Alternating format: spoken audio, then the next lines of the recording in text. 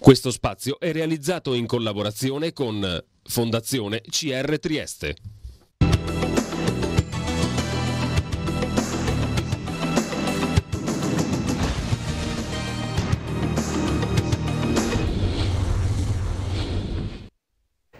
Buon pomeriggio, benvenuti a un altro appuntamento con Trieste in diretta, quest'oggi nella seconda parte parleremo di eh, un'iniziativa che ha a che fare con culto musica, poi ci sarà Semeraro e un altro ospite, il presidente dell'associazione Giuliani in Brasile che ci spiegheranno meglio di cosa si tratta. Nella prima parte siamo in compagnia del dottore Andrea Di Lenarda, direttore della struttura complessa di patologie cardiovascolari, con il quale parleremo di del nuovo Dipartimento Territoriale e del progetto Smart Care. Da che cosa cominciamo, Buongiorno dottor Di Lenarda? A quel che vuole. Allora parliamo del nuovo Dipartimento, dai.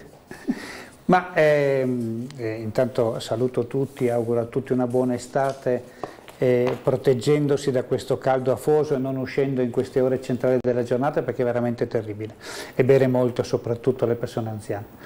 E, ehm, ma insomma questa è una, una, notizia direi abbastanza interessante, abbastanza importante perché con l'azienda la, sanitaria universitaria Giuliani Sontina abbiamo meditato per un po' di tempo durante il periodo Covid e abbiamo trovato il coraggio, io ringrazio la direzione per questo, eh, di eh, accogliere e di provare una sfida, la sfida di riorganizzare il territorio della provincia di Trieste e della provincia di Gorizia in un senso diverso, cioè uscire dallo schema rigido richiedo una prestazione ed eseguo una prestazione, un esame che rimando al medico curante, mm.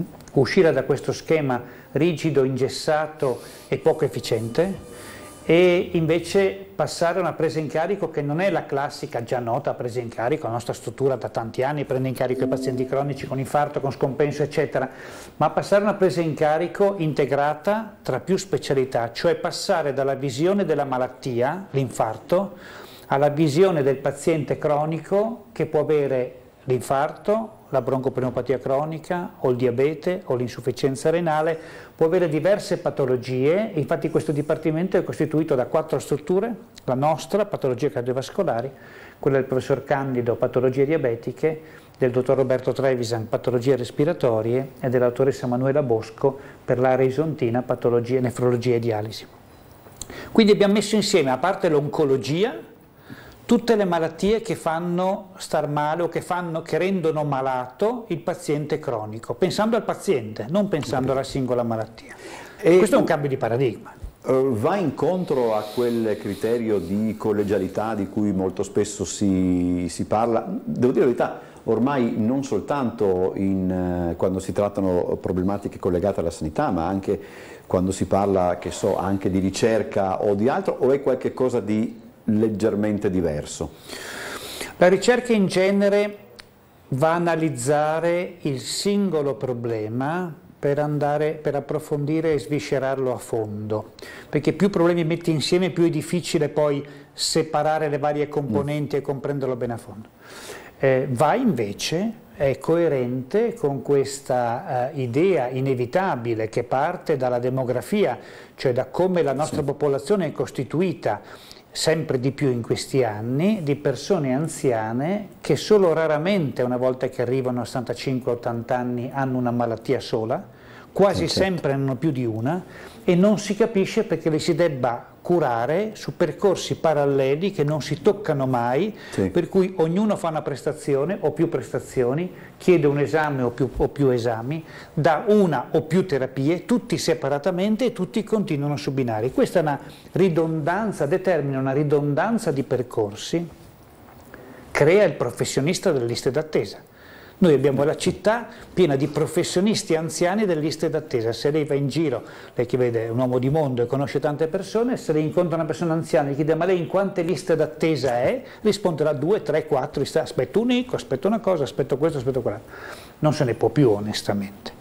Il, noi stiamo creando, abbiamo già creato, cercheremo nei prossimi due o tre anni di completare questo percorso, creando tutta una serie di percorsi interni al Dipartimento, per cui quello che vorremmo alla fine di questa riorganizzazione è che il paziente che viene da me o da un altro cardiologo e ha anche un problema pneumologico, diabetologico, mm. nefrologico, non esce con la scritta si cerchi, si, si, prenoti una visita pneumologica, nefrologica, diabetologica, ma esca con la scritta, abbiamo per lei richiesto un teleconsulto, una visita pneumologico all'interno del nostro dipartimento e noi gli diamo l'appuntamento.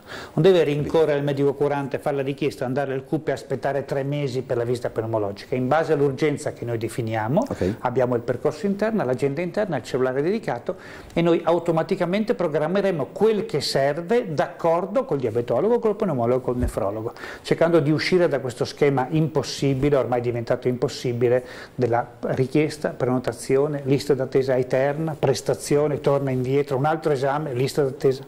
Eh, C'è un, come dire, eh, vediamo se riesco a trovare esattamente, c'è una struttura che fa da coordinamento in questo Dipende senso? dal paziente. La domanda, la domanda è perfetta, come sempre.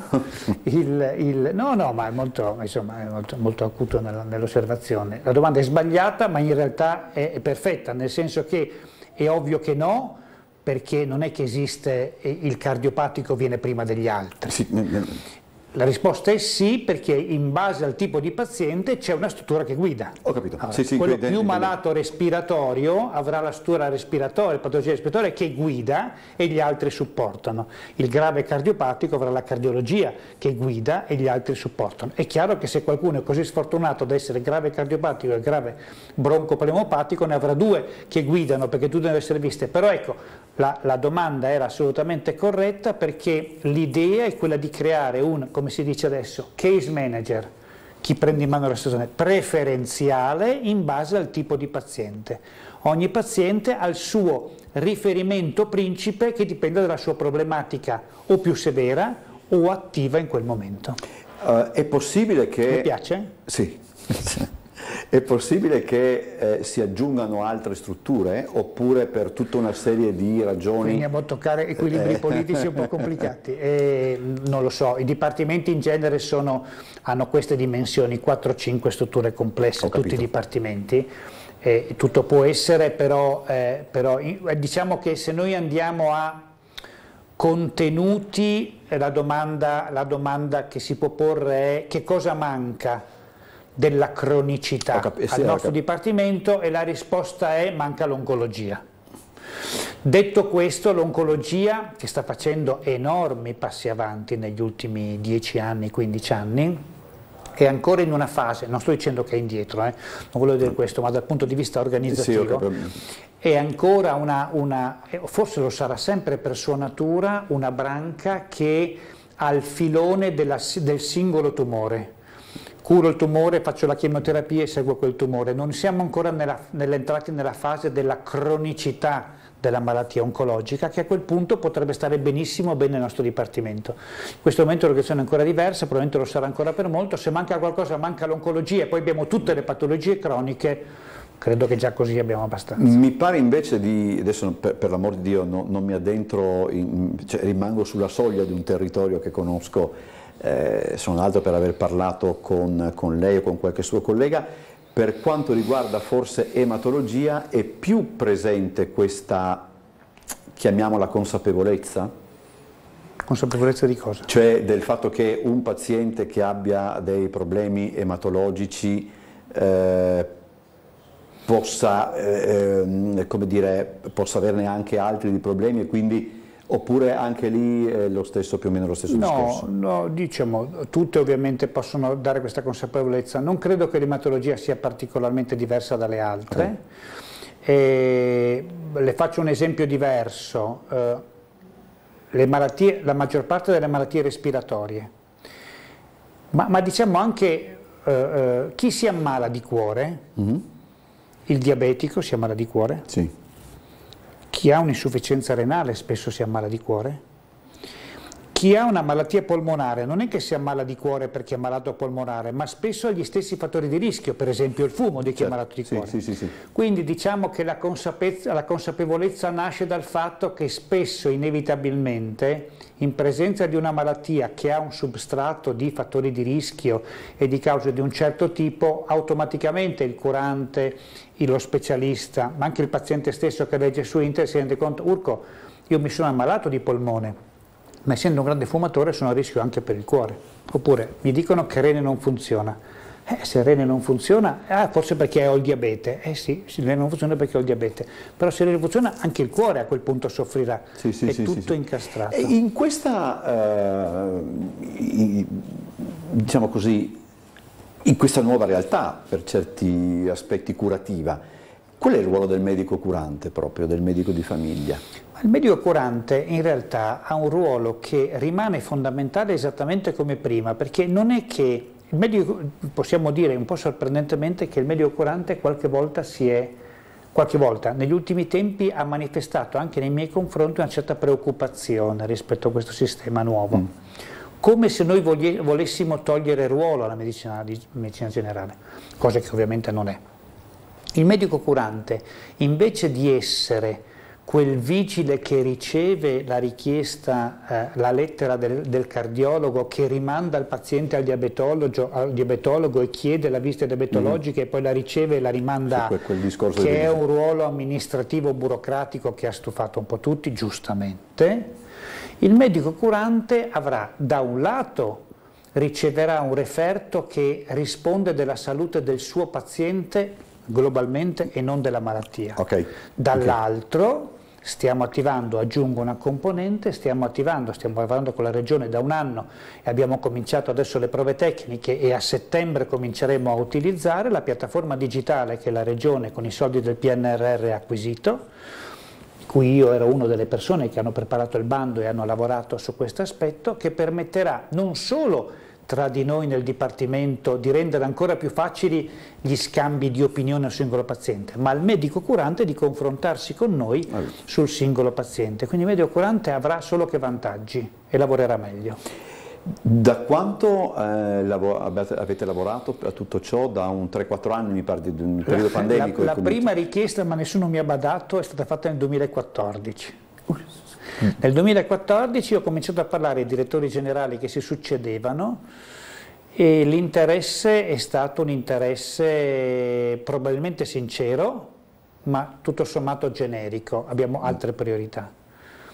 E, e, poi invece nel 2019 questa direzione ha proposto questa cosa avendo una memoria storica del passato, anche se non era questo direttore generale, ma c'erano il direttore sanitario, il dottor Maggiore che aveva partecipato a discussioni precedenti, c'era questa memoria storica all'interno della direzione e mi hanno proposto di riprendere in mano perché loro volevano cogliere questa occasione, questa opportunità e questa sfida. Poi ci siamo fermati due anni e mezzo per, per il Covid forza. e siamo arrivati adesso, se no l'avremmo iniziato nel 2020.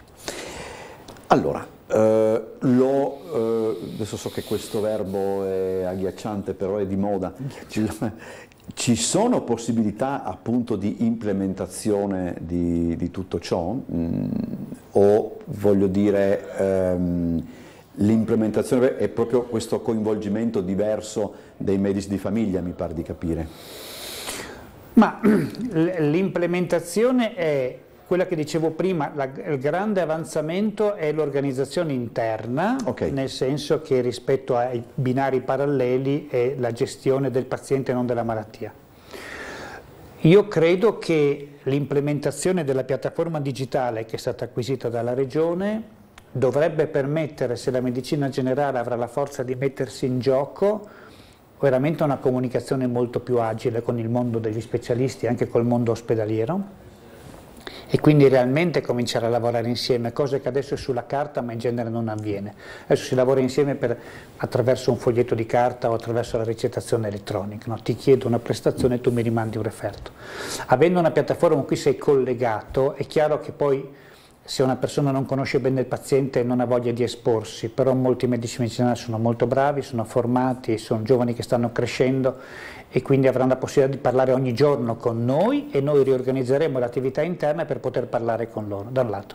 Dall'altro lato ovviamente la continuità ospedale-territorio, che è uno dei grandi punti critici, che a Trieste in realtà da sempre funziona abbastanza bene, si può migliorare ovviamente, permetterà di comunicare sempre questa piattaforma tra ospedale e territorio in maniera molto più agile. Quindi questa un'implementazione verrà dalla digitalizzazione della sanità, okay. che non è un'ipotesi, l'abbiamo già comprato Già, noi tecnici stiamo già testando, non è operativa dal sistema e quindi quella sarà la grande implementazione nel 2024. Parliamo invece del progetto Smart Care.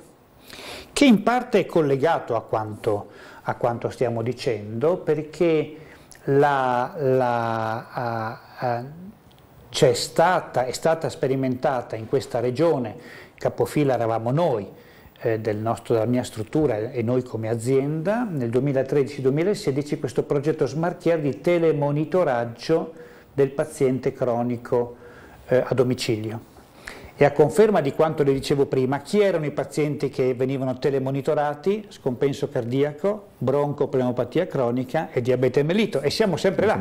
No? Capisce che alla fin fine non è che facciamo cose molto diverse, non abbiamo tanta fantasia.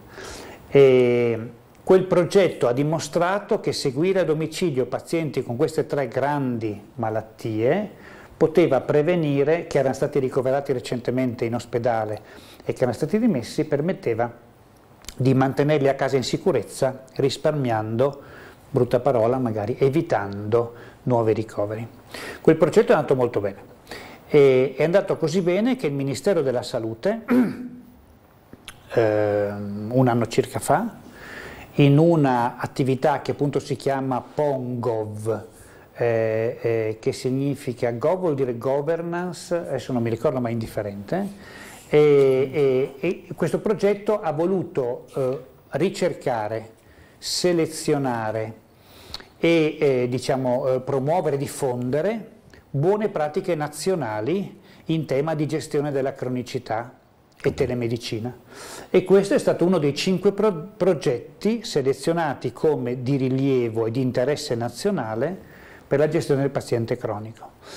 E per cui sono stati degli incontri, fatto delle relazioni, fate dei congressi, su questo ovviamente in collaborazione con la Regione, la dottoressa Beatrice Del Frate è stata con me l'altra persona che ha promosso e diffuso questi contenuti, e il Ministero della Salute, cioè è una troupe televisiva del Ministero della Salute, è venuta qua il primo giugno e ha uh, prodotto un bel documentario che è in, che è in rete e, e, che, e, che, sostanzialmente descrive la storia, descrive i vantaggi, descrive le opportunità che questa buona pratica permette. È venuto molto carino. E continua la pratica? La pratica continuerà nella piattaforma digitale. Ah, certo, perché sì. il progetto Smart Care, che si è chiuso perché era un progetto europeo finanziato che finiva capito. lì, mm, è stato il motivo che ha in qualche modo convinto, magari ce ne sarebbero stati anche altri, ma che dopo il 2016 per il successo che ha avuto, poi le elezioni, la giunta è cambiata, quel che era, ma sta di fatto che da quel momento è iniziata un'interlocuzione con la politica che ha dimostrato interesse, che poi è arrivato il Covid eccetera, ma alla fin fine, con i soldi del PNRR, l'interesse di un progetto che già si era dimostrato uh-huh. efficace è diventata la piattaforma che sarà sistema dal 2024. Quindi grazie a questo progetto Smart Care che era sperimentale su un numero relativamente piccolo di pazienti eh, eh, telemonitorati in tutta la regione, con un minimo di merito ce lo prendiamo, grazie a questo si è arrivati a questa piattaforma digitale che permetterà di rendere sistema per la cronicità la gestione di questi pazienti verso la piattaforma. A proposito di domande formulate in un certo modo piuttosto che in un altro, adesso vedo di formularla nella maniera più eh, seria possibile, però eh, i progetti che, di cui abbiamo discusso adesso, no? eh, sia il progetto Smart Care che eventualmente questa nuova eh, diciamo, fisionomia della, della, questa nuova organizzazione della cura, eccetera. Um, denotano, adesso non, non vorrei, vorrei ci fosse un termine migliore ma non mi viene in mente, una certa, diciamo, o fantasia o attenzione, cioè Proattività. Cioè, ecco, l'idea di, di, di, non, di, non, dare eh, per scontato, mettiamola così, tutto ciò che funziona bene, ma eh, di guardare a ciò che si può fare partendo, posso immaginare, da ciò che funziona bene. Cioè bisogna, bis, bis, bisogna essere, mm, eh, la traduzione è dall'inglese visionari, però la dice poco, cioè bisogna avere intuito, sì, avere sì. fantasia, avere un... non fermarsi, immagino. Sì, fino all'ultimo giorno.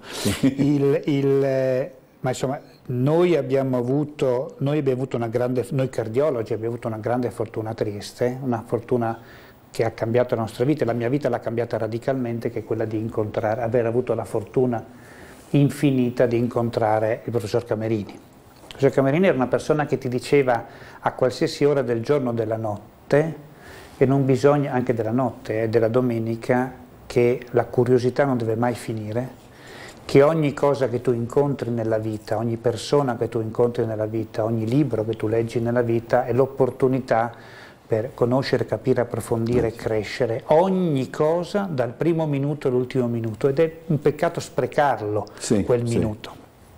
Allora, eh, eh, portandola alla sua domanda, eh, il, credo che purtroppo, dico una cosa grossa adesso, l'impressione che il sistema sanitario pubblico, eh, non sto facendo né polemica né accusa, ma l'impressione che sia una fase molto critica di salute.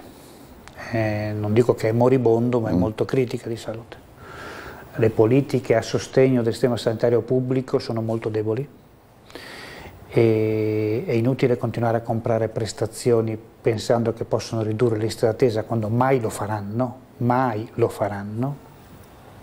L'unico modo se vogliamo salvare questo sistema che è il migliore al mondo è quello di fare continuamente innovazione, ricerca, avere visione e sapere dove andare oltre quello che è l'obiettivo di oggi e di domani, ma quello che è dopo. Allora, la, io sono grato a questa azienda perché ha deciso di seguire un'idea un che era molto più facile non seguire perché è un rischio seguire un qualcosa che ti implica lavoro di anni, che vuol dire ribaltare un sistema che è abbastanza consolidato e che ha più probabilità di fallire che di vincere. Però nella vita se, non, se, vuoi, se, se puoi, lasciare morire il sistema puoi, puoi cercare di salvarlo e per salvarlo devi trovare qualcosa di nuovo. E così la piattaforma digitale che è venuta per virgolette merito del Covid, è una sì, provocazione ragazzi. ovviamente, no? il Covid ha fatto solo che male, ma, ma, per certe cose ha svegliato un torpore di fondo che probabilmente ci avrebbe dato la piattaforma digitale fra dieci anni capito, e non fra due, ma abbiamo capito che in certe situazioni o cerchi di cavartela in qualche modo innovativo e la piattaforma digitale, visto che tecnologicamente ormai è disponibile, la privacy, eccetera. Adesso stiamo discutendo su come superare questa difficoltà di far scorrere i dati in tranquillità senza prendere multe dal garante della privacy.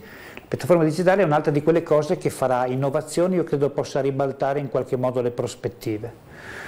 Non è che con queste due cose salveremo il mondo, ce ne vogliono altre, però ecco, alla sua domanda è o cerchiamo con stimoli continui, curiosità e visione di trovare forme di innovazione perché il mondo è cambiato, la popolazione è cambiata, i pazienti sono cambiati, la cronicità è cambiata, oppure semplicemente moriremo lentamente. Abbiamo tempo per un'ultima, un domanda. Quanto c'è bisogno in una uh, situazione in evoluzione come, come questa della, mh, mm, non, tan, non direi tanto della collaborazione, quanto della consapevolezza da parte del eh, paziente dell'esistenza di queste, di queste, realtà. Faccio un esempio che, che non c'entra, ma proprio per far capire, no? per esempio eh, noi stessi per una forma di, so, quasi di ereditarietà, per esempio non, eh, delle volte le, le, le, ricette mediche ci arrivano sul, sul cellulare e noi perdiamo del tempo a stamparle quando è ormai sufficiente andare in, in farmacia con la, con la, ricetta sul cellulare e quindi c'è un passaggio in meno per noi, magari il farmacista deve comunque stamparle, però voglio dire, eh, e qui Ma lasciamo perdere, però voglio dire, deve esserci anche da parte nostra sì, no? sì. questa, questa sì, idea di... No, ma, in, in questo, ah, ma avete ragione e diciamo, io sono qua oggi per questo. Noi dobbiamo cominciare, dico noi perché ci sono dei compagni di viaggio, il Dipartimento ha un centinaio di persone, quindi sono tante persone che lavorano a questo, dobbiamo certamente impegnarci di più eh, per far conoscere questi nuovi aspetti organizzativi che la gente ancora non conosce bene. Impara a conoscere chi ci frequenta perché è lì, sì, ma gli altri sì. non. Eh, e dall'altra parte dobbiamo, anche grazie a tutto il pool di infermieri e di persone non mediche del nostro Dipartimento, come tutti gli altri, eh, stiamo parlando del nostro, ma no, non c'è nessuno, tutti sono importanti uguali, dobbiamo aumentare la consapevolezza di malattia delle persone, perché da un lato è bene che le persone siano consapevoli che esistono nuove forme organizzative per, per curarsi, dall'altro lato devono essere responsabili nel curarsi, perché eh, sì. il dimenticarsi i farmaci, il, eh, I test, eh, sì. tutto quello che si vuole, non monitorarsi, non misurare la pressione, non fare quello che, dico, in ambito cardiologico, può essere qualsiasi altra cosa, per qualsiasi altra malattia, rende anche queste forme organizzative del tutto inutili, perché è inutile sapere come mi potrei curare, ma intanto io non mi curo. Sì, certo, sì.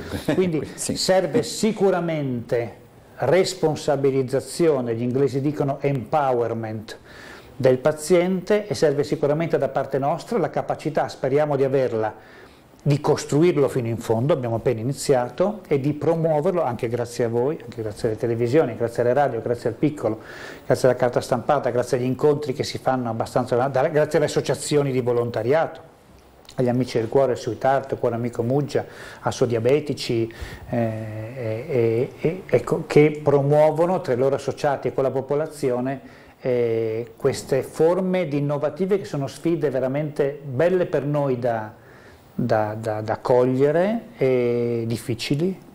Con l'aiuto di tutti proviamo a farcela.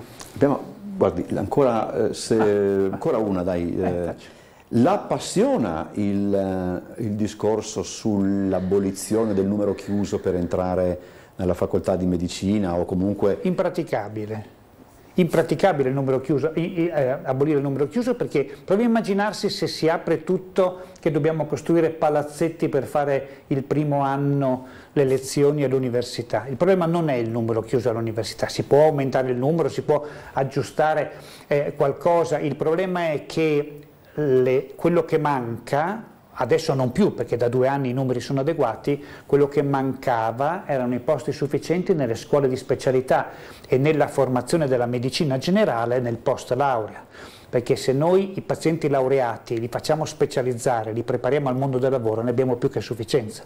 Non serve togliere il numero chiuso all'inizio, mm. bisogna aumentare il numero dei posti nelle scuole di specialità. Certo. No, fino a poco tempo fa ce n'erano 8-9 mila a fronte di 15 mila laureati l'anno e quei 6 mila non avevano posto di scuola. È inutile aumentare di 6 mila qua, ne abbiamo già 6 mila lì. Ho capito. No? Hai capito? Grazie dottor Di Nenarda per essere stato con noi, buon lavoro. Arrivederci a tutti, grazie. Andiamo in pubblicità, poi cambiamo argomento.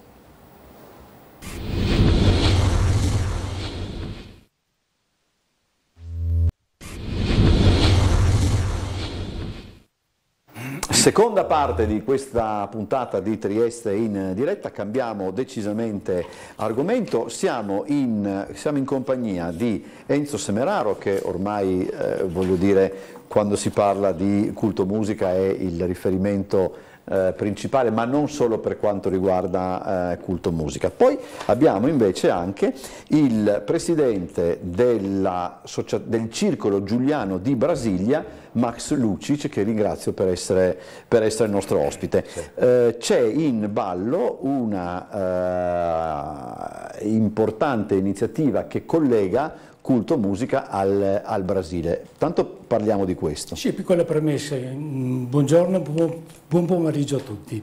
Eh, l'anno scorso, durante i concerti di culto musica, eh, ho avuto il piacere tra gli ospiti di conoscere la console onoraria a Trieste, la Judith Moura de Oliveira. E si è avvicinata alla realtà di culto musica e alla fine, dopo novembre circa, eh, mi ha chiesto se fosse il caso di portare culto musica in Brasile. è un'idea un pochino eh, così beh, diversa. Il culto musica si è mosso, mm, si è mossa Vienna, in Europa, Losanna e l'Italia. E questa volta andare oltreoceano potrebbe essere io chiedo scusa so che posso io ogni volta che sento pronunciare il nome della città di Losanna non posso fare a meno di ricordare una battuta di Totò in Totò il medico dei pazzi quando diceva non lo sa nessuno Losanna non lo sa nessuno. È una roba che in questi giorni chissà perché mi tormenta, allora siccome è già un paio di volte che sì. sento dire Losanna, allora a un dato punto ho detto aspetta che no, adesso sono più, sono più, tranquillo, sono più sollevato. Okay, okay. Eh, da quel momento abbiamo cercato di capire eh, come, perché, quando. E abbiamo fatto delle riunioni online e durante una di queste riunioni con Brasilia eh, abbiamo conosciuto Max che abbiamo la fortuna di avere qui a Trieste per un periodo. E così cerchiamo di mettere assieme i, non solo la parte artistica che riguarda me, eh, che mi riguarda, però mm-hmm. eh, anche il fattore economico, il fattore sponsor. Beh, sì, eh, da qui anche una riunione che abbiamo fatto la settimana scorsa con la vice sindaco Serena Tonel e con l'assessore Pierpaolo Roberti che ha delega per ah, i concittadini del mondo. Per i cittadini del mondo, sì, ecco, è vero. In, nel periodo successivo adesso eh, metteremo a punto tutti gli elementi per concretizzare questa, questa tournée che reputo mh, mm, positiva perché il, già il titolo è indicativo un po' di Trieste in Brasile. Ecco, tutto lì. Però diciamo che adesso abbiamo la fortuna di averlo lui e lui magari cercherà di farci capire anche le realtà, perché funziona così, non è che gli sponsor li troviamo e dicono venite, deve, deve eh, esserci una essere... compartecipazione con l'Italia. Allora, quando eh, siamo sicuri che l'Italia, Comune di Trieste, Regione, sia partecipe economicamente, e loro già, partono. Come si diceva in una canzone di Barbara Streisand, anzi come si diceva in un brano di Leonard Bernstein, si è halfway there, è già, un, passo, è già un passo avanti. Allora, parliamo intanto, eh, Presidente, della, della, realtà giuliana in, in, Brasile. Noi non siamo, eh, come, come posso dire, quando pensiamo ai giuliani nel mondo, eh, pensiamo a realtà vicine al Brasile, so, l'Argentina, il Canada, tanto per ricordare poi anche tutto quello che ci racconta Viviana Facchinetti, Viviana Facchinetti. Del, che tra l'altro in questi giorni ha compiuto, ha compiuto gli anni. Eh, quanto è consistente la, la presenza della comunità giuliana in Brasile? Eh, prima di tutto vorrei iniziare dicendo grazie per questa opportunità di essere qua con voi. Eh, voglio solo dire, signor Posazzi, che io nel mio, come dicevo prima, eh, vivendo a Brasilia, a lungo degli anni, questo programma Trieste in diretta, tutto che voi fate su Tele4 e mettete online, è una linfa vitale per noi, per me, eh, e fate un servizio unico Grazie. per eh, vivendo, vivere Trieste all'estero, leggendo il piccolo, assistendo voi su Tele4, perciò viva Tele4. Okay, grazie, grazie, grazie. E personaggi, tutte le persone chiavi che stanno facendo, creando cose a Trieste, voi le portate e noi le viviamo, le, cioè è come essere a Trieste, forse in un'altra dimensione. Ecco. Si parla di questo, essere triestino nel mondo, cosa significa? Ecco. No, no, no, la ringrazio, insomma, poi dopo io queste cose mi anche imbarazzano un pochettino così che non sento. No, no, la, la vedo in persona adesso e, e, e mi sembra, cioè, letteralmente sa fan club, ecco. no, ma non, no, non scherziamo, è la verità.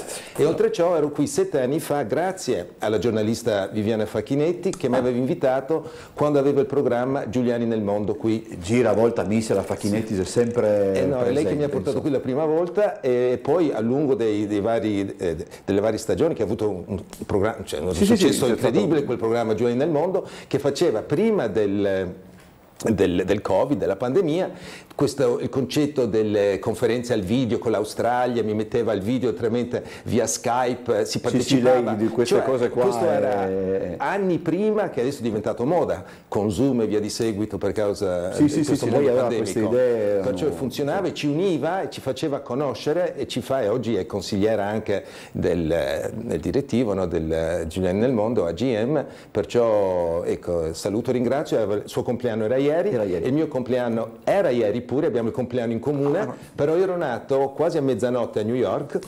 Perciò quindi- in quel momento era già il 20 luglio, che è oggi, così io commemoro tutti i due giorni, il 19 e il 20 luglio. E sono felice, questo è un regalo per me essere qui con voi. Allora, e in- beh, grazie, eh, ripeto, poi io sono, mi, mi imbarazzano anche queste, queste cose. Comunque, eh, ecco, qua, com'è consistente appunto la comunità giuliana in Brasile? Ci sono, ci sono vari circoli, principalmente a San Paolo, che c'è il, circolo più antico, ehm, oltre 40 anni, poi abbiamo un circolo molto importante a Curitiba. Il nostro circolo a Brasile è molto piccolo, ma già che lavoro lì all'Ateneo da molti anni, ho creato un laboratorio di cultura italiana che si chiama Panorama Italiano Brasilia e, e insegnando l'italiano e la cultura italiana e l'italianistica metto una enfasi speciale su Trieste, l'Istria e la storia del nostro esodo. Io ho la nonna rovignese. Anche eh, a Rovigno... sì, sì, è Femia Tesel eh, e poi eh, sono cresciuto qua a Trieste, sono nato a New York, i miei genitori, mie- mio nonno, mio padre, Mario Luciani Lucic, aveva un'attività commerciale molto interessante a New York che era questo emporio che si chiamava Dal Triestino. Ah, come no? Lo- era- lo- eh, io ci sono stato, eh, io ero a New York nel 91 e mi Era corregga ancora- se sbaglio, era vicino al- ai, ai moli dove si Ma partiva era, per era la- davanti al Pier 23, il Molo 23, che era lo, lo storico molo che arrivava all'Italian Line. Allora all'epoca, negli anni 50, 60, e via di- dei grandi transatlantici collegavano Sì, sì, sì, Trieste e l'Italia Lì, con New York. Quando io ero a New York in quegli anni, nel- nei primi anni 90, lì si partiva, penso si parta ancora, la crociera che si fa lungo l'Hudson. Sì, credo Circle, Circle Line che ti porta attorno a Manhattan, Sì, certo, e in ogni caso, ma però quel negozio poi lo venderono nel- nei- poi negli anni 60 da Ah, una capito. famiglia ebrea, ma continuarono col nome e quel negozio continuò fino all'anno 2000, tanto che lavoravano direttamente con l'Alitalia, scendevano i turisti italiani, arrivavano a New York e cercavano dal Triestino, per cosa? Per le Ray-Band, per le Samsonite, per i Wrangler, cioè io a New York, che ci ho lavorato per 15 anni, in vari incarichi, ero conosciuto come il figlio di figlio del- Dal Triestino. Dal Triestino. Ecco così. E cioè questo collegamento New York-Trieste, anche dovuto alla famiglia Lucic, che siamo noi, che ho parte, mio padre poi è cresciuto qua a Trieste come Mario Luciani, perché Mhm. aveva il nome ovviamente italianizzato durante il fascio e poi quando è arrivato in America nel 48 eh, il governo americano non accettava il cognome del fascio e, e lui è l'unico che in famiglia è ritornato al cognome Lucic che sono molto grato a questo nome che mi ha portato molto fortuna Allora, ehm, io quando noi parliamo di eh, cultura italiana eh, in un altro paese, no? Ehm, abbiamo probabilmente un'idea molto, molto strana, molto particolare, no? per noi magari la cultura italiana, che ne so, pot- pot- potrebbe essere, boh, il cinema è un pochettino perso probabile, nel- però insomma, siamo forse ancora legati a determinati stilemi d'antan, no? Cioè, adesso che cosa significa portare, far conoscere la cultura del nostro paese in una realtà come quella brasiliana? Che, che- che, mettiamola così, su chi o su che cosa si punta? Beh, prima di tutto si punta sul fatto che la, la società brasiliana è già un frutto di onde migratorie dall'Italia antichissime. Perciò eh, avere un cognome italiano eh, in Brasile è molto comune. C'è una statistica che la Farnesina ci informa che siamo più o meno 30 milioni di italo-discendenti nel Brasile. Perciò, ehm, e così abbiamo anche San Paolo che riconosciuta come la città nel mondo, una metropoli di quanti? Di 16 milioni, che è la città che ha più sangue italiano nelle sue vene. Cioè la città più gran- italiana più grande del mondo si chiama San Paolo do Brasil. Eh, oltre a ciò lì si parla anche un portoghese con quasi un accento italiano. Allora, quando tu ti presenti, io sono arrivato dalla mia realtà di New York, che poi ho studiato, ho fatto i primi- le prime esperienze di lavoro e arrivo in Brasile, che mia moglie poi mi porta una lunga storia come sono arrivato in Brasile, ma in ogni caso eh, devo ringraziare sempre mia moglie Sibeli Rebello che lavorava per eh, Itamaraty, che sarebbe la Farnesina italiana, il, eh, brasiliana, che lavorava all'ONU per la missione brasiliana era lì per un periodo di cinque anni, ci siamo incontrati, io lavoravo per l'ICE, Istituto Commercio Estero New York, e lei che poi mi ha definitivamente portato a Brasilia, perché Brasilia non si arriva per caso, è una città isolata dal mondo, Ecco. a mille metri di un plateau isolato dove hanno costruito questa città futuristica che realmente è una cosa da vedere. Tutti vanno in Brasile, visitano Rio de Janeiro, Eh, Salvador, sé, però suggerisco Bahia, eh, cioè nostra- la nostra capitale Brasilia, è un- una cosa da vedere. Ecco, ho fatto spot pubblicitario per Brasilia. effettivamente. Ma il fatto è, essere italiano in Brasile è una realtà così fantastica che uno non si sente che è all'estero. Cioè, tu sei elevato alle stelle. Per esempio, negli Stati Uniti, se tu parli con un British accent, you know, everything opens, you know? cioè, loro guardano, tutti gli accenti sono, eh, sono considerati inferiori, ma arrivi col British accent negli Stati Uniti, anche Hollywood apre le porte, no? In Brasile, tu arrivi là, è una lingua, già un portoghese italianizzato per le onde migratorie, non è il portoghese parlato in Portogallo, Sì, è un sì. portoghese molto più musicale, italianizzato. E parli il portoghese con l'accento italiano, ovviamente ce l'ho tuttora, apre porte. Apre porte, perché tutto che è Italia vende. San Paolo, città di grattacieli, il palazzo più famoso, Edificio Italia. È il nome, Edificio Italia. Cioè, essere italiano è un biglietto Ma di è visita. vero che, ehm, come dire, eh, bisogna, questo è una- una- un esempio secondo me anche del provincianismo di noi italiani per certi aspetti, cioè bisogna andare fuori dall'Italia appunto per eh, capire quanto il nostro paese è, eh, è amato eh, appunto in giro per il mondo. Noi forse non ne siamo consapevoli perché lo diamo forse anche per scontato secondo me. Guardi, io- io so solo una cosa, che ehm, io e molti italiani, tutti gli italiani che io conosco che vivono la, la mia realtà a Brasile, ci sono molti, anche molti arrivati recentemente, quando si parla di una immigrazione lontana, c'era quella lontana, ma oggigiorno sono anche molto attivo col Comites, Comitato Italiani all'Estero, creato per la Farnesina, una rete per aiutare gli italiani che arrivano adesso all'estero e molti arrivano in Brasile. Cioè, uno non si sente fuori casa. Ho capito. Io credo che nessuna parte del mondo un italiano può andare a vivere e si sente più a casa che nel Brasile. Un mio, un mio amico, eh, uno dei più cari amici che, che ho, eh, lui è impazzito dietro il Brasile, c'è stato, eh, c'è stato più volte e, e mi racconta appunto del, del fascino. Una della- simpatia, una- sì. solo sorrisi, solo sorrisi. Questo Cioè tu è- dici, dici Italia, un sorriso.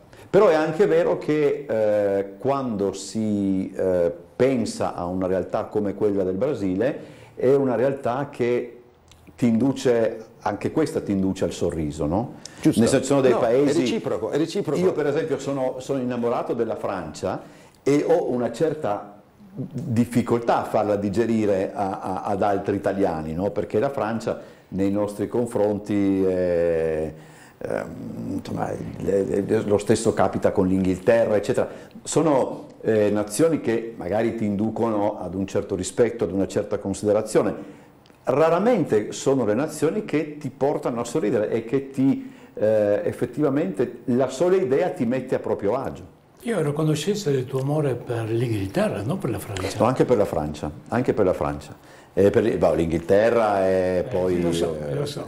La, Francia, la Francia anche perché è stata la meta del mio primo viaggio, insomma, e quindi rimani folgorato da, da- da determinati posti. Ma Posso dire che anch'io abbiamo questa cosa in comune, anch'io sono molto francofono, perché mia madre è nata, è toscana, però è cresciuta fino a 18 anni in Corsica, e ha avuto tutta la sua educazione in francese, e oltre a ciò eh, mia madre che ci sta ascoltando in questo momento, Norina Storai, che è qui come in viaggio, classe 1927, Mamma mia. Ecco, è felicissima di essere rientrata, anche lei considera Trieste la sua patria, perché questa è la bellezza di Trieste. Trieste è come il Brasile, Trieste accoglie molto bene le persone di fuori. Il Brasile accoglie molto bene le persone di fuori e credo che questa è una sintonia che porta, adesso faccio questo collegamento, Trieste e Brasile hanno molto in comune. Poi, ma poi, mm, può darsi, può darsi. Noi siamo sempre un po' più duretti all'inizio, no? Una città che non è facile. Poi una città che in realtà poi ti circonda, ti, ti- noi siamo un po' una città fintamente, fintamente dura, insomma, nel senso che... Ma andiamo a Joyce, tutti quanti dall'estero si sono innamorati sono rimasti qui per scelta, perciò eh, c'è un fascino Trieste. Io sono contento di essere all'estero e come il nostro direttore artistico sa, io sono appassionato per Trieste, ma credo che sono più innamorato di Trieste vivendo all'estero. Sì, posso- questo posso capire. E quando ci torno, e questo orgasmo, questa roba qui che è senza fine, che realmente mi dà una carica in questi, dopo quattro anni lontano per causa della pandemia, mi sto ricaricando le batterie, perciò è, una, mm, è la base, cioè, tri, cioè, questo mondo qui che abbiamo su, con tutte quelle nostre culture, eh, sono andato sul tetto adesso, vedevo, cioè, guardando la Slovenia, eh no, cioè, abbiamo tutto, tutto, abbiamo tutto. E forse dobbiamo essere più consapevoli noi che, che siamo qua. C'è una cosa che devo chiedere, poi eh, è logico e Semeraro mi, mi, mi, scuserà, ma insomma io abbiamo dato più spazio all'altro ospite anche perché abbiamo delle curiosità e, e, e delle cose che, che, ti puoi immaginare, però dobbiamo ricordare, io credo di averlo già annunciato mh, senza darle date né niente, però c'è anche questo appuntamento con un'altra triestina illustre che è Daniela Barcellona che per il terzo anno eh, tu porti a Trieste. È la terza edizione della masterclass Canto Lirico Daniele Barcellona. E era in dubbio se la facevamo, ricevuta la telefonata da parte di Alessandro Vitiello di Daniela, mettiamola su, la facciamo. Allora, dal 4 al 10 settembre okay. ci saranno le lezioni, questa volta non alla Piccola Fenice, ma le facciamo tutte al Verdi. Ok d'accordo con il Verdi, con il Teatro Verdi, eh, faremo le lezioni e la serata finale il giorno 10 a, nella sala Victor de Sabata del, come l'altro anno come l'anno scorso uguale. Che, che, giorno è il sabato è una domenica? Eh, eh, sì domenica, domenica. ok mm. eh, quindi eh, rimane questo, questo, appuntamento che è un appuntamento anche di grande, di grande prestigio poi in genere quasi sempre eh, la Barcellona quando poi torna a Natale al eh, Rossetti. È tornata dall'Argentina, adesso ecco. è a Pesaro e mm, tra 20 giorni circa, circa eh, rientra qui a Trieste. E poi eh, sarà anche il nostro ospite che poi è sempre divertentissimo. Insomma, così magari eh, una... ci spiegherà lei o ti spiegherà lei eh, come ha intenzione di impostare questa masterclass. È una persona di grande, di grande cultura sì. e anche di enorme umanità e simpatia che non guasta. Mi ha colpito quello che è stato detto adesso al suo rientro dal Teatro Colón mm -hmm. Buenos Aires. Colón. Colón. Buenos Colón Aires, è... sì, giusto, con Buenos Aires, dove eh, l'hanno definita apprezzata per la linea, linea, ampia, poggiata su un'emissione dalla solidità superba e quindi ferma, sicura, omogenea, con una morbidezza che il timbro fascinoso accentua e con uno sgranarsi delle colorature che restano tuttora senza paragone vincente. Wow. Cioè, noi triestini dobbiamo essere orgogliosi di avere una cantante che ci rappresenta nel mondo. E prima o dopo bisognerà anche darle il San Giusto d'Oro, posto che non l'abbia già ricevuto o no? Sì. No, il San Giusto d'Oro bisognerà darglielo sì, prima o sì, dopo, sì, perché... No. Posso dire due parole Come rispetto no? di questo? Solo per aggiungere a Trieste has talent, ok? Io ho una cugina mm. che ha fatto la storia della lirica, ha cantato al Metropolitan e, e, tuttora credo che Trieste l'ha riconosciuta, l'ha applaudita nel passato, ma voglio dare il nome e un saluto a Gloria Scalchi. Ok perché realmente un mezzo soprano che ha avuto negli anni 90, ha fatto Semiramide al Metropolitan, eh, abbiamo avuto dei, dei, talenti e li abbiamo tuttora. L'altra sera, per coincidenza, sono andato eh, per caso a assistere a un concerto lì nel giardino del Museo Sartorio. Ok, e ti, sono rimasto... ti posso interrompere? Tieni presente che lui è un grande amico di quella persona che stai per dire. No, io sono rimasto, io sono rimasto eh, fulminato, sono rimasto eh, stregato da eh, Stefania Seculin. Ah, ha, fatto ecco. un, ha, fatto un, spettacolo e ha fatto voci femminili da Broadway, operetta, Barbara Streisand, cantato in francese, in tedesco. Cioè io il tedesco neanche lo capisco, cioè lo capisco ma no, mi ha fatto piangere quando ho cominciato a... Cioè letteralmente è quello che sono rimasto, era casa pieni, 200 posti pieni, però sono rimasto perché, non è una critica, è un'osservazione di uno che vive maggior parte all'estero, perché il pubblico triestino è così duro? Il concetto di standing ovation non esiste ah, no, figuriamoci. No, no, no, io mi sono alzato, io ho applaudito in piedi, ero l'unico, ma era una serata, no, da, per... era una serata da morire di, divina, una serata gratuita, e questo è anche il bello di essere qua a Trieste d'estate, tutti questi concerti, ma parlano di andare a Manhattan, a New York, ma questo batte qualsiasi parte del mondo, le, le offerte che c'hai culturali in questo periodo. Tra l'altro la, la, la, Seculina assieme ad altri suoi... Con Graziana Borciani sì, era, era ha, quella ha sera... Quello, il medesimo spettacolo che aveva fatto le piccole Fenice ah, con hanno me, fatto, come Marlene, si chiama, Marlene. Marlene Edith. Hanno fatto dei, delle canzoni, Ah, erano ecco, insieme ah, alla no, fine. quello- quello è uno spettacolo Ma è stato- bellissimo, quello è uno e oltre spettacolo ciò tutte e bellissimo. due di una generosità e Sì, sì, ancora nessuno si è alzato. E tra l'altro loro, eh, Seculina assieme a eh, Sticotti, la Columni sì, e ad altri Disney, quali- adesso al castello, saranno 26. il 26 Sì. al Castello di San Giusto, eh, poi lo presenterò io per cui eh, sarà, Imperdibile. sarà divertente anche quello con le canzoni della Disney. C'è un'altra cosa che volevo chiedere, eh, allora ehm, è anche vero che noi per parecchi anni, quando si parlava di Brasile da un punto di vista artistico, ci si limitava eh, o alle canzoni ancora la, la- la bossa nova, Jobim, tutti questi enormi musicisti che, eh, che hanno fatto veramente la storia. Basterebbe sentire la ragazza di Ipanema cantata da Sinatra per comprendere che cosa significa Jobim anche nella storia nostra quotidiana, perché poi dopo questi artisti non hanno, eh, non hanno barriere. Però l'altra grande, eh, l'altro grande prodotto internazionale del Brasile fino a qualche tempo fa, lo dico sorridendo, erano le telenovela. Noi avevamo il, eh, insomma, io appartengo a una generazione che tornava a casa da scuola e c'era Dancing Days, quindi sto parlando del 1982, se non ricordo male. No, non dire queste Ah, cose. eh, ma ormai è risaputo. C'è da dire questo. Eh, io ho visto adesso un paio di eh, produzioni brasiliane grazie a Netflix, grazie a alle piattaforme. Cioè, è cambiato da così a così, cioè ormai la telenovela è, è un ricordo, le produzioni televisive brasiliane sono di una qualità eh, notevole e dal punto di vista diciamo della fattura artistica. no, la Globo, la, la Globo è, è un mostro. Cioè, È rimasto ancora comunque Ma la Globo, però è cambiata da così a così, cioè il, il- il modello della telenovela che a noi faceva un po' sorridere, eccetera, ormai non esiste. Cioè No, sono- no, no. Eh, sono- eh, le telenovele continuano fortissime e abbiamo tre orari sul eh, cioè il canale principale della Globo e, e ognuno ha una clientela propria, però per esempio quello delle nove eh, tuttora eh, può eh, influenzare il paese anche in elezioni politiche, Addirittura. ma e- e parla sempre di argomenti attuali, ci sono sempre anche messaggi subliminali, che hanno degli, c'è sempre una manipolazione fortissima, però il brasiliano, come posso dire anche mia moglie, addict, proprio viziati, Viziato- più- si parla a tutti i livelli intellettuali e non si parla Sì, sì, sì, c'è qualcosa nella telenovela che eh, loro hanno creato un prodotto che forse anche la lingua, non so se poi tra- tradotto eh, ipnotizza, ma in portoghese ipnotizza. Per esempio, tu cominci a assistere due o tre programmi, eh, non puoi smettere.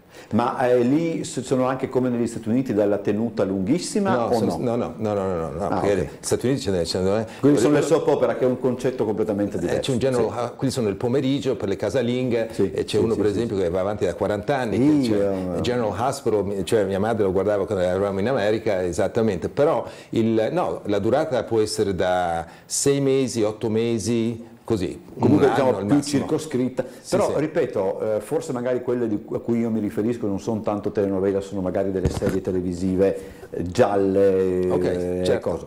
Devo dire la verità, la, la fattura è eh, veramente eccezionale. Poi magari qualcuno potrebbe anche dire che c'è un livellamento totale verso l'alto per cui non riesci più a distinguere ciò che è brasiliano da ciò che è colombiano, da ciò che è messicano, eccetera, se non per la lingua logicamente.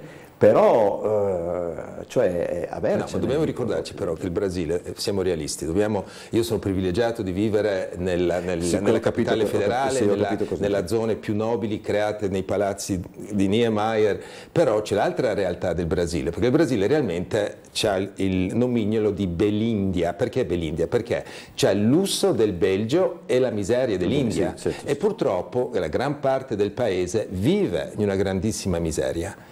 E questa è una realtà. ok? Da, da, noi europei che guardiamo, come riescono a vivere con salari così minimi? Cioè è una vita sofferta, però d'altra parte Dio li ha ringraziati con un paese dove c'è il sole tutto l'anno, non c'è mai l'inverno, cioè c'è una natura generosa, ehm, cioè tutto cresce tutto l'anno, butti una semenza, cresce, fa frutta, mangi la frutta, cioè è un paradiso terrestre dal punto di vista ambiente, però ci sono, sono anche delle contraddizioni ecco, spaventose. E però c'è questa grande fede. Io dico una cosa è un paese non tanto religioso ma spiritualizzato al punto che io, sono, io rimango quando torno in Italia e, e, vado in chiesa di domenica e ci sono quattro gatti. Cioè in Brasile tutte le messe di tutti, non deve essere cattolici, ma, cattolici, ma stremiti, sembra Pasqua, sembra Natale ogni, anno, ogni messa, cioè le file sentono la grande religiosità. È un paese estremamente cattolico, abbiamo più feste religiose cattoliche in Brasile che in Italia.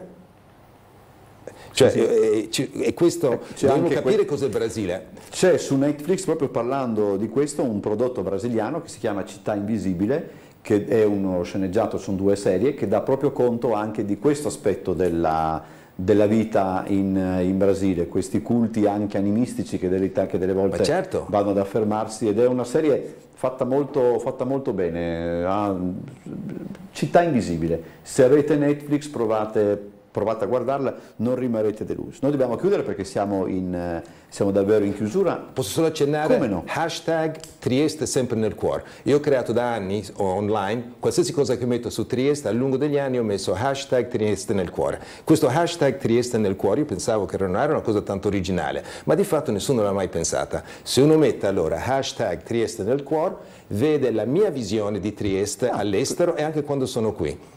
È il mio diario anche... di come io vivo Trieste nel mondo. Allora, intanto ci diamo un arrivederci a questo punto, magari vedremo anche poi come si sviluppa tutte queste cose, okay. noi stiamo in contatto così, così le raccontiamo. Io ringrazio Enzo Semeraro che eh, uno ne fa veramente 100, 100 ne pensa e anche Max Lucic che è il presidente del Circolo Giuliano di Brasilia. Buon mille lavoro grazie, a entrambi, noi ci vediamo, oggi è, eh, oggi è giovedì, quindi noi ci vediamo domani, domani è la puntata in genere dedicata alla cultura.